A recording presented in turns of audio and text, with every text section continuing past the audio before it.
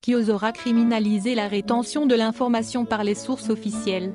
Samira Hadj placée sous mandat de dépôt. Azedine Mioubi sous ISTN. Après des années de terrorisme médiatique, le quotidien arabophone Enar cesse de paraître. Pas de libération provisoire pour Ali Ghediri. Le gouvernement veut imposer une taxe sur les logements vacants.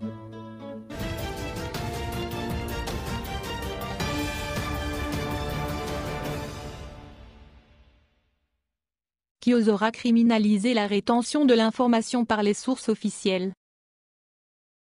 Les lois répressives concoctées par Belkacem Zegmati, qui aura marqué ce département de son empreinte indélébile comme le pire ministre de la Justice depuis l'indépendance, donnent lieu à des réactions virulentes aussi bien de la part de citoyens lambda que des membres de la corporation, juges et avocats. Le dernier texte adopté par le Parlement croupion hérité du régime Bouteflika, relatif à la criminalisation des fausses informations diffusées sur les réseaux sociaux, mais également dans les médias reconnus en tant que tels, a fait dire à des observateurs avertis que toutes les lois, ces derniers mois, sont destinées à réduire la marge de manœuvre des journalistes et des internautes et, ainsi, porter atteinte à la liberté d'expression déjà malmenée depuis la prise du pouvoir par l'ancien chef d'état-major, le général Gaïd Salah, et une poignée d'affidés zélés. Cette situation doit pousser les citoyens, les partis de l'opposition, les militants, les membres du Irak à exiger que soit votée une loi criminalisant la rétention de l'information par les tenants du pouvoir, et donc par les sources officielles qui, non seulement manipule l'opinion publique, mais fermant les vannes et l'empêche de connaître la vérité sur un grand nombre de décisions et de faits qui se déroulent dans les salons capitonnés du Sérail, relèvent ces observateurs. Il est grand temps, selon eux, que les Algériens profitent des lois qui les servent en premier lieu et les protègent contre les fake news distillées de façon perfide par des médias à la solde du pouvoir et des mercenaires tapis dans l'ombre, payés par le contribuable pour poster des messages racistes, haineux, inquisitoires et insultants, sur instigation d'officines secrètes, note-t-il. Les journalistes se sont toujours plaints de la difficulté d'exercer leur métier en raison de l'impossibilité d'accéder à l'information de sorte à encourager un journalisme d'investigation, à l'image de celui qui a permis de faire éclater les scandales du Watergate aux États-Unis en 1974 et de l'Achille Lauro en France en 1985, entre autres. Jamais la presse algérienne n'a révélé un fait sur la base d'enquêtes poussées, regrettent ses observateurs. En Algérie, c'est celui qui se place le plus près possible des centres de décision qui est servi le premier. Il en était ainsi d'Enahar TV sous Bouteflika, et il en est ainsi de son succédané et Elayat TV maintenant, souligne-t-il. Même les youtubeurs qui donnent des sueurs froides au pouvoir actuellement, à partir de l'étranger, obtiennent leur scoop de l'intérieur des institutions civiles et militaires ou des officiers ou des cadres mécontents ou opposés au système, mais tenus par l'obligation de réserve, choisissent des porte-voix pour révéler au grand jour ce qu'ils constatent de visu sans pouvoir agir directement, explique encore ces sources informées. Samira Hadj placée sous mandat de dépôt. La productrice cinématographique et audiovisuelle, Samira Hadj a été placée, ce jeudi, en détention provisoire par le juge d'instruction du tribunal de Bir Mourad Raïs, Alger.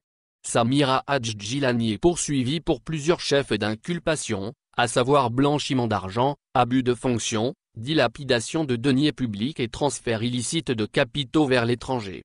La productrice faisait, depuis le 12 mars dernier, l'objet d'une interdiction de sortie du territoire national, ISTN. Pour rappel, Hadj Gilani avait occupé le poste de directrice centrale du ministère de la Culture sous la présidence de Bouteflika. Elle était également directrice de communication du candidat Azedine Mioubi lors de la campagne électorale pour l'élection présidentielle du 12 décembre dernier.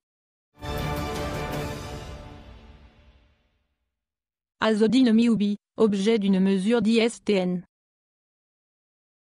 L'ancien ministre de la Culture et candidat à la présidentielle de 2019, Azedine Mioubi est l'objet, depuis trois jours, d'une mesure d'interdiction de sortie du territoire national, ISTN, a-t-on appris de bonnes sources. Cette mesure a été prise à la suite d'une enquête menée sur la gestion du ministère de la Culture, qui s'est soldée par la mise, ce jeudi, sous mandat de dépôt de Samira Hadj Celle-ci est accusée d'abus dans l'exercice de ses fonctions et de blanchiment. Du temps où Azedine Mioubi occupait le poste de ministre de la Culture, Samira Hadj a bénéficié de privilèges qu'elle avait déjà obtenus auprès de Khalida Atoumi. Les transferts d'argent vers l'étranger ont fait l'objet de moult critiques. À l'heure actuelle, on ignore les griefs retenus contre Asdine Mioubi et s'il y a d'autres suspects dont les enquêtes menées par les services de sécurité. Après des années de terrorisme médiatique, le quotidien arabophone Enahar cesse de paraître. Le controversé et sulfureux quotidien arabophone Enahar a cessé de paraître officiellement, a confirmé aujourd'hui jeudi un communiqué émanant de la société Al Atir Presse, dirigée par Anis Ramani, écroué à la prison de Koléa depuis le 14 février dernier, et son épouse, Swad Azouz, directrice de publication du quotidien des Nahar et actionnaire des Nahar TV. Selon ce communiqué, le quotidien Nahar ne sera plus imprimé ni distribué dans les kiosques en Algérie en raison des difficultés financières que traverse le groupe de médias Nahar appartenant à Anis Ramani et son épouse. Ces difficultés financières s'expliquent par la rupture de la manne financière en provenance de la publicité publique distribuée par la régie publicitaire de l'État algérien la NEP. Pendant des années, le quotidien arabophone Nenahar fut le chouchou de la NEP qui était instruite par le pouvoir politique pour inonder les colonnes du quotidien d'Anis Ramani par de longues pages publicitaires enrichissant ainsi un patron de médias qui a enfanté l'un des pires outils de propagande de l'histoire de l'Algérie contemporaine. Avec cette manne publicitaire de l'État, Anis Ramani financera la chaîne de télévision Enahar TV, et deviendra le prince des médias et un richissime homme d'affaires accumulant une fortune considérable avec des biens immobiliers et des comptes bancaires à l'étranger. À partir de ce jeudi 30 avril, Enahar cessera de paraître. C'est la fin de 13 années de terrorisme médiatique. Enahar a été le principal instrument de diabolisation des opposants algériens. Atteinte à la vie privée, campagne de diffamation, campagne de dénigrement public, calomnie et injure. Le quotidien Nenahar a foulé aux pieds toutes les règles de la déontologie et de la bienséance pour noircir l'image des adversaires du régime algérien. Le président Abdelmajid Tebboune a été lui-même victime de ces pratiques répugnantes allant jusqu'à publier ses photos privées pour les associer à des accusations de corruption et de dépravation morale. La fin d'Enahar est bel et bien la fin d'une époque, celle où Anis Ramani pensait qu'il pouvait tout se permettre sans jamais avoir à rendre des comptes à une quelconque autorité morale. Pas de libération provisoire pour Ali Ghediri, a tranché la chambre d'accusation du tribunal d'Alger.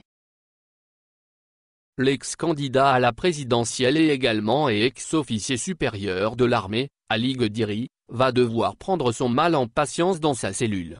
En effet, la chambre d'accusation d'Alger, a rejeté aujourd'hui jeudi la demande de libération provisoire introduite par la défense, confirme son avocat, Khaled Boureyou, au soir d'Algérie. Le magistrat en charge du dossier a fait savoir qu'il avait demandé un complément d'information, ce qui est d'après lui, un argument destiné uniquement à maintenir Ali Diri en détention. Placé depuis bientôt une année sous mandat de dépôt, le 13 juin 2019, l'ancien candidat à l'élection présidentielle avortée du 18 avril 2019, a été pratiquement oublié par les médias et les partis politiques. Pour cause, le chef d'inculpation qui lui a été imputé, à savoir collecte d'informations, de nature à porter atteinte à l'économie nationale au profit de pays étrangers, mettait forcément en doute la réputation du général à la retraite. Précisément, Ali Ghediri avait affirmé le mois de janvier dernier qu'il allait refuser sa libération provisoire, sans son droit à la réhabilitation. Droit dans ses bottes, le général tient absolument à se laver de tout soupçon aux yeux de l'opinion publique, si allergique aux personnalités téléguidées de l'étranger.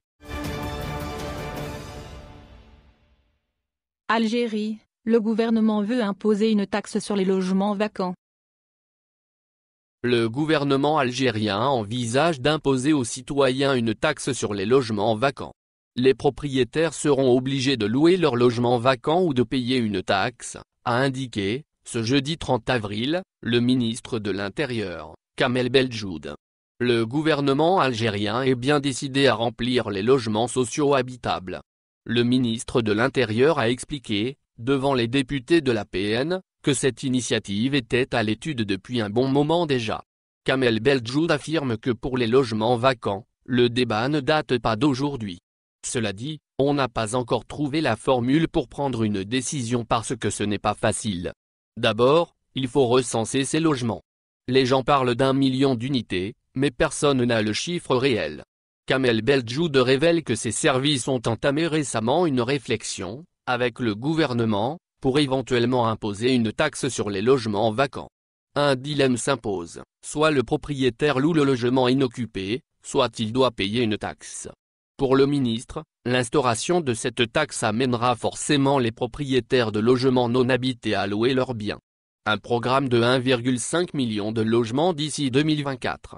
Par ailleurs, le gouvernement algérien continue son programme de logement, en projetant la réalisation de 1 million de nouvelles unités d'ici 2024.